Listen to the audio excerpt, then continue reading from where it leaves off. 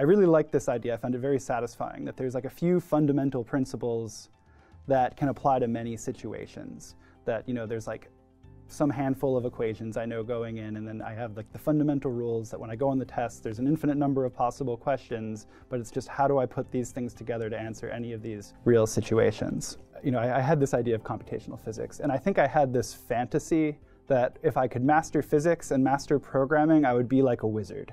It would just be there's going to be some fundamental principles I'll learn. I'll get practice on how to choose the right ones and put them together.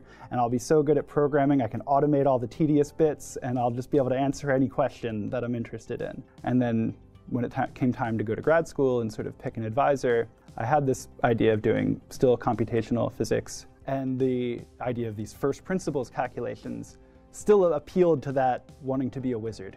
It was this, um, we're really starting with the basic some basic rules, and you give me an arrangement of atoms, in principle, I can tell you what it does. A lot of my PhD work was in this first principles approach, where I'm taking this arrangement of atoms, using the machinery of density functional theory that maps things onto a non-interacting problem, and either applying that and or form, find, coming up with models for systems like superlattices, where maybe I you have two systems that are stacked together like Legos, and, and one project was do a bunch of calculations for one of those layers, um, for each constituent material, each Lego brick, and be able to say what happens when you stack these Legos together. Another project involved how to compute a particular property more efficiently, and that was how to compute changes in electric polarization in a ferroelectric. And the real key was sort of using more information from the even just this approximate wave function than was typically done for previous calculations, and that solved a lot of ambiguities that existed.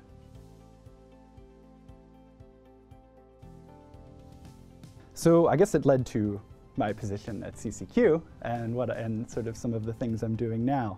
Um, and I'd say they're both related in some way. Uh, you know, both of those projects are related to several of my projects now, um, even though they at first may seem to be quite different. So one of my projects now is taking this density functional theory machinery and including not just electrons and in some sense nuclei into it, but also including photons, so light, is as a you know, fully quantum mechanical particle and, and how that can affect uh, systems. That's kind of related to some of this polarization work in that the main way photons couple to matter is actually through the polarization of the system. That's sort of in the, in the equation for the energy where the photon uh, variable and the matter variable connect is through the matter's uh, polarization. Another project that I'm, I'm, working on CCQ involves how vibrations in materials are affected by the magnetism in the material in ways that have been somewhat neglected. The term that captures this effect is actually related to these changes in phases of the wave function, which was some of the techniques in a different context I used for this computing changes in polarization of a ferroelectric. So there's, even though it's a very different effect, there's a very mathematically similar aspect of it where there's these phases on your wave functions that you're using in a different context to um, obtain a um, quantity of interest.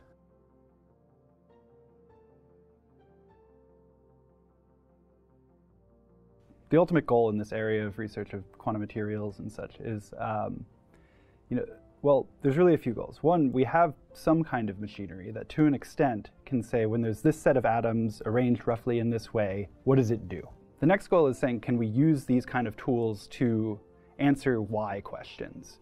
You know, okay, is it, I can do an experiment where I put these atoms together and then make this measurement, but I don't necessarily have a feeling for, you know, why this is how it came out. You know, it could help with a third goal, a really ambitious goal that says, I want a material that has these properties. What atoms do I put together and how? So the reason it's so hard to say, like, predict how this set of atoms is going to act is because it's really governed by quantum mechanics.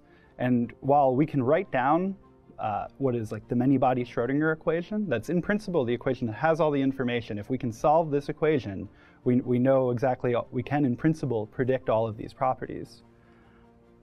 But the solutions to this equation are, come in the form of these uh, many-body wave functions, which are very complex objects.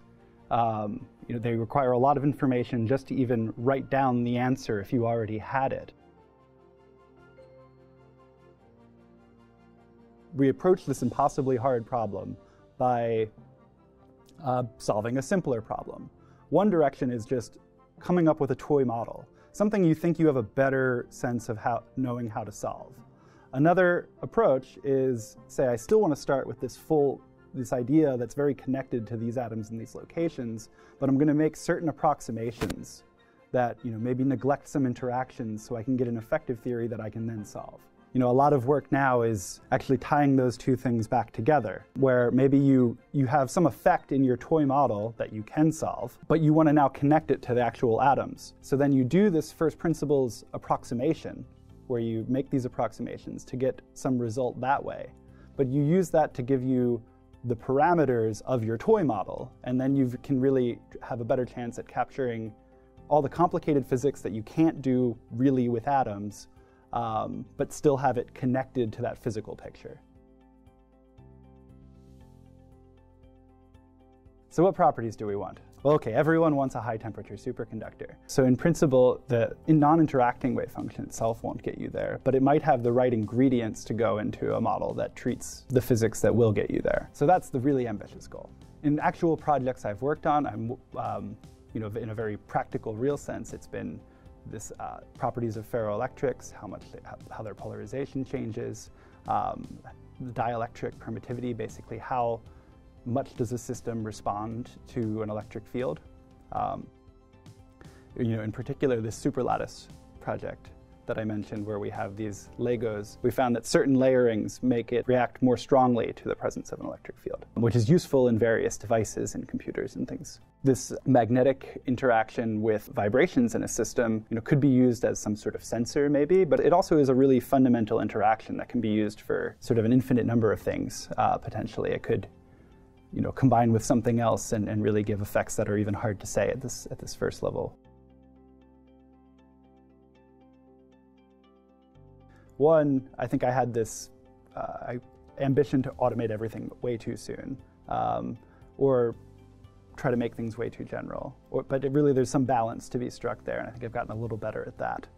Um, I'm still improving there. I also kind of a change in sort of discipline or approach is just that I think I once valued like the novel idea is the most important thing. And I think over time I'm starting to value that, you know, a lot of times once you have a good idea or a solution to a complex problem, actually grinding it out and following through on it is, is almost more valuable. I'm starting to value that more than just coming up with ideas itself. Sort of ideas can be generated very rapidly, but following through on them takes some grit.